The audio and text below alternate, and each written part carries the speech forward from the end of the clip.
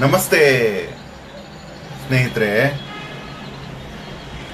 ತುಂಬಾ ಅಚ್ಚರಿ ಎನಿಸುವ ಘಟನೆಗಳು ನಮ್ಮ ಜೀವನದಲ್ಲಿ ತುಂಬಾ ನಡೀತಾ ಇರುತ್ತೆ.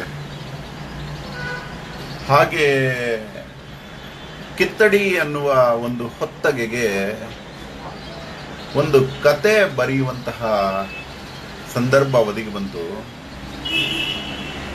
ಸುಮಾರು ಆರು ವಾರ ಆಗಿರ್ಬೋದು, ಬೆಳಗಿನ ಜಾವ ಒಂದು ಕತೆ ಇವನ ತಲೆಗೆ ಬಂತು. ಅದು ಕಿತ್ತಡಿಗೆ ಸಮಂಜಸವಾಗಿತ್ತು. ಆದರೆ ಅದನ್ನು ಬರೆಯುವಂತಹ ಸಂದರ್ಭ ಇಂದು ಒದಗಿ ಬಂತು. ಇದೊಂದು ಮನಸ್ಸು ಝುಮ್ ಎನ್ನಿಸುವಂತಹ ಕತೆ. ಕೇಳಿ ಇವಾಗ. ಆ ಕಿತ್ತಡಿ ಪುಸ್ತಕದಲ್ಲಿ ಇಂಥ ಅನೇಕ ಕತೆಗಳು. ನಮ್ಮ ಜೀವನದ ಶೈಲಿಯನ್ನು ಬದಲಾಯಿಸುವಂತಹ ಕತೆಗಳು ಬರುತ್ತೆ. ಅದರಲ್ಲಿ ಈ ಕತೆ ಇವನಿಗೆ ರೋಮಾಂಚನಗೊಳಿಸ್ಬಿಡ್ತು. ಹೇಗೆ ಕತೆಗಾರರಿಗೆ ಕತೆಗಳು ಹೊಳೆಯುತ್ತೆ ಅಂತ ಚಿಕ್ಕ ವಯಸ್ಸಲ್ಲಿ ಅನ್ಕೋತಿದ್ದ. ನಾವು ಬರೆಯುವುದಕ್ಕೆ ಸಿದ್ಧರಾದಾಗ ಭಗವಂತ ನಮ್ಮ ತಲೆಯಲ್ಲಿ ಕತೆಗಳನ್ನು ತುಂಬುತ್ತಾನಂತೆ. ಈ ಕತೆ ಕೇಳಿ ಒಬ್ಬ ಕೋಳಿ ಪಂದ್ಯದವನು ಇರ್ತಾನೆ. ಅವನ ಜೀವನದ ವೃತ್ತಿಯೇ ಕೋಳಿ ಪಂದ್ಯ. ಬಲಿಷ್ಠ, ದಷ್ಟ, ಪುಷ್ಟ ಕೋಳಿ ಹುಂಜಗಳನ್ನ ಸಾಕುವುದು, ಅದಕ್ಕೆ ತರಬೇತಿ ಕೊಡುವುದು, ಆ ಕೋಳಿಗಳನ್ನ ಹಳ್ಳಿ ಹಳ್ಳಿ ಪಟ್ಟಣಗಳಿಗೆ ತೆಗೆದುಕೊಂಡು ಹೋಗಿ ಅಲ್ಲಿ ಚಾಲೆಂಜ್, ಚುನೌತಿ ಆ ಜನಗಳಿಗೆ ಒಂದು ಸವಾಲು ಎಸೆಯುವುದು. ಏನು ಆ ಸವಾಲು?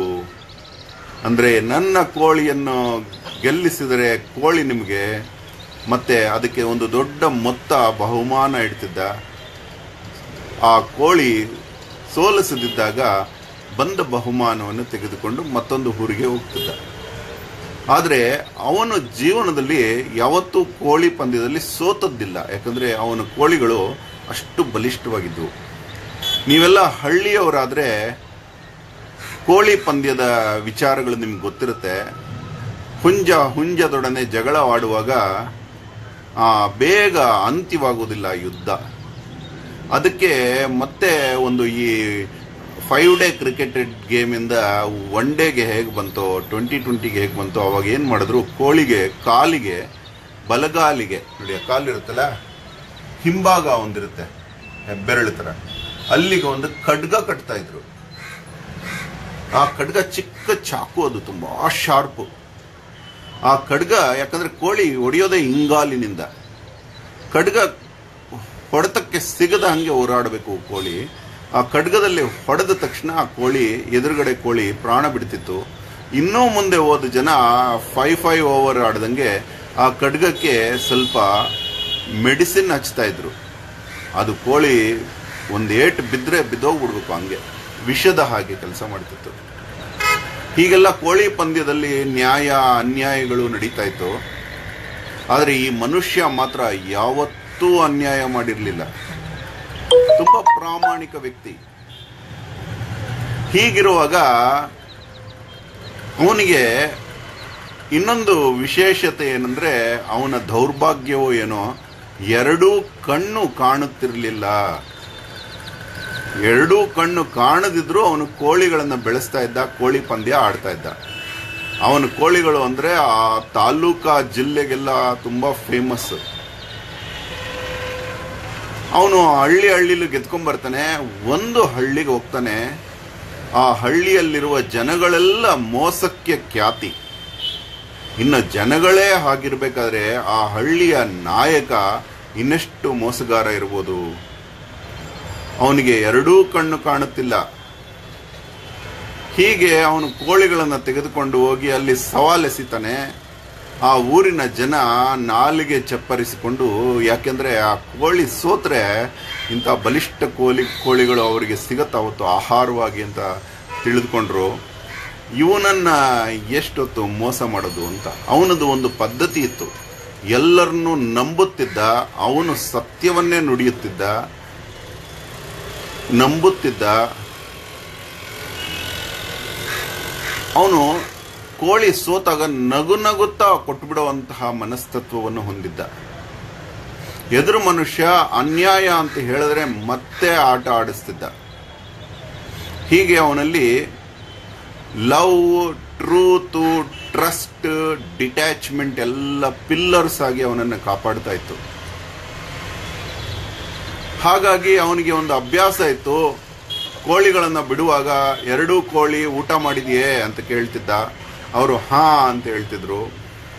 ಎರಡೂ ಕೋಳಿ ಲವಲವಿಕೆಯಿಂದ ಇದೆಯೇ ಅಂತ ಕೇಳ್ತಿದ್ದ. ಅವರೆಲ್ಲ ಹಾ ಅಂತ ಹೇಳ್ತಿದ್ರು. ಮತ್ತೆ ಎರಡೂ ಕೋಳಿಗೆ ಕತ್ತಿಯನ್ನ ಚೆನ್ನಾಗಿ ಕಟ್ಟಲಾಗಿದೆಯೇ ಅಂತ ಕೇಳ್ತಿದ್ದ. ಅವರು ಹಾ ಅಂತ ಹೇಳ್ತಿದ್ರು. ಈಗ ಬಿಡಿ ಪಂದ್ಯಕ್ಕೆ ಅಂತ ಹೇಳ್ತಿದ್ದ. ಇಷ್ಟೇನಾ ಇವನನ್ನು ತುಂಬ ಈಸಿಯಾಗಿ ಮೋಸ ಮಾಡಬಹುದು ಅಂದುಕೊಂಡ ಆ ಊರಿನ ಮಾಲೀಕ, ಆ ಊರಿನ ನಾಯಕ ಏನು ಮಾಡ್ತಾನೆ ಅವತ್ತು? ಇವನ ಕೋಳಿಗೆ ಆಹಾರವನ್ನೇ ತಿನ್ನಿಸೋದಿಲ್ಲ. ತಮ್ಮ ಕೋಳಿಗಳಿಗೆ ಆಹಾರವನ್ನು ತಿನ್ನಿಸ್ತಾರೆ. ಹಾ ಅಂತ ಹೇಳ್ತಾರೆ. ಇವನ ಕೋಳಿಗೆ ಕತ್ತಿಯನ್ನು ಕಟ್ಟುವುದಿಲ್ಲ. ತಮ್ಮ ಕೋಳಿಗೆ ಕತ್ತಿಯನ್ನು ಕಟ್ಟುತ್ತಾರೆ. ಹಾ ಅಂತ ಹೇಳ್ತಾನೆ ಇವನು. ಎಲ್ಲ ಸುಳ್ಳುಗಳಿಗೂ ಇವನು ಗೊತ್ತಿಲ್ಲದೋ ಗೊತ್ತಿದ್ದೋ ಹಾ ಅಂತ ಹೇಳಿ ನಂಬಿ ಪಂದ್ಯಕ್ಕೆ ಬಿಡಿ ಅಂತ ಹೇಳ್ತಾನೆ. ಆಗ ಬಿಟ್ಟ ಆ ಪಂದ್ಯ ತುಂಬ ಜಬರ್ದಸ್ತಾಗಿ ನಡೆಯುತ್ತೆ. ಹಸಿವಾಗಿದ್ದ ಇವನ ಕೋಳಿ ಹೆಚ್ಚು ಹೋರಾಟ ಮಾಡೋದಕ್ಕೆ ಶುರು ಮಾಡುತ್ತೆ. ಆ ಎದುರಿಗಿದ್ದ ಕೋಳಿ ಹೆಚ್ಚು ತಿಂದ ಕಾರಣವೋ ಏನೋ ಮಂಕಾಗ್ಬಿಡುತ್ತೆ. ಬಟ್ ತನ್ನ ಕಾಲಿಗೆ ಖಡ್ಗ ಇದೆ. ಆದರೆ ಹೀಗೆ ಆದಷ್ಟು ಯುದ್ಧ ನಡೆಯುತ್ತೆ ಈ ಎರಡೂ ಕೋಳಿಗಳ ನಡುವೆ. ಆದರೆ ಇವನ ಕೋಳಿ ತುಂಬ ಬಲಿಷ್ಠವಾಗಿದ್ದರಿಂದ ಎಗರಿ ಹಿಂಭಾಗದ ಕಾಲಿನಿಂದ ಆ ಮೋಸ ನಾಯಕನ ಕೋಳಿಯ ತಲೆಗೆ ಹೊಡೆಯುತ್ತೆ. ಆ ಏಟನ್ನ ಸಹಿಸಲಾರದ ಆ ನಾಯಕನ ಕೋಳಿ ಮೇಲೆ ಹಾರಿ ಚಪ್ಪಾಳೆ ಹೊಡೆಯುತ್ತಿದ್ದ ಆ ನಾಯಕನ ತಲೆಯ ಮೇಲೆ ಬೀಳುತ್ತೆ. ಆಗ ತನಗೆ ಕಟ್ಟಿರುವ ಕತ್ತಿ ನಾಯಕನ ಕಣ್ಣಿಗೆ ಚುಚ್ಚಿಕೊಂಡು ಕಣ್ಣು ಹೊರಟೋಗುತ್ತೆ ಅವನು ಆ ನೋವಿಗೆ ವಿಲ ವಿಲ ವಿಲ ಒದ್ದಾಡ್ತಾನೆ. ಅದೇ ಕ್ಷಣದಲ್ಲಿ ಅವನ ಒಳಗಡೆ ಒಂದು ಮಂಥನವಾಗುತ್ತೆ. ನಾನು ಮೋಡಿ ಮಾಡಿದ ಮೋಸದ ಫಲ ಇದು. ಕಣ್ಣು ಹೋಯ್ತಲ್ಲ ಅಂತ ವಿಲ ವಿಲ ಒದ್ದಾಡಿ ಅಳು ಅಳುತ್ತಾ ಅವನು ಆ ಕುರುಡ ಕೋಳಿಯ ಮಾಲೀಕನ ಕಾಲಿಗೆ ಬೀಳ್ತಾನೆ. ನಾನು ನಿನ್ನ ಜೊತೆ ಮೋಸ ಮಾಡಿದೆ.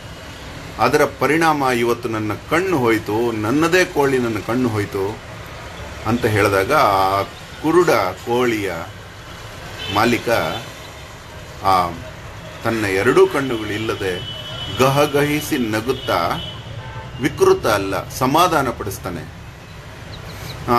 ನಗ್ತಾನೆ. ಆ ನಗುವಿಗೆ, ಹೌದಾ? ಅಂತ ನಗ್ತಾನೆ. ಆ ನಗುವಿಗೆ ಅರ್ಥ ಕೇಳಿದ ಊರಿನ ಜನರ ಮಧ್ಯೆ ಇರುವ ನಾಯಕ, ಏನಪ್ಪ ಹಾಗೆ ನಗ್ತಾ ಇದೆಯಾ? ಏನು ಕಾರಣ? ಅಂದರೆ ಅವನು ಹೇಳ್ತಾನೆ, ನೋಡಿ, ಹಿರಿಯರೇ, ಇವನು ಅನೇಕ ಊರುಗಳಿಗೆ ಹೋದ. ನಿಮ್ಮೂರಿಗೂ ಬಂದ. ಅನೇಕ ಊರುಗಳಲ್ಲಿ ಇವನ ಕ್ಷೇಮ ಸಮಾಚಾರ ವಿಚಾರಿಸ್ಕೊಂಡ್ರು. ನಿಮ್ಮೂರಿಗೆ ಬಂದ. ನೀವು ಕ್ಷೇಮ ಸಮಾಚಾರವೂ ವಿಚಾರಿಸಲಿಲ್ಲ.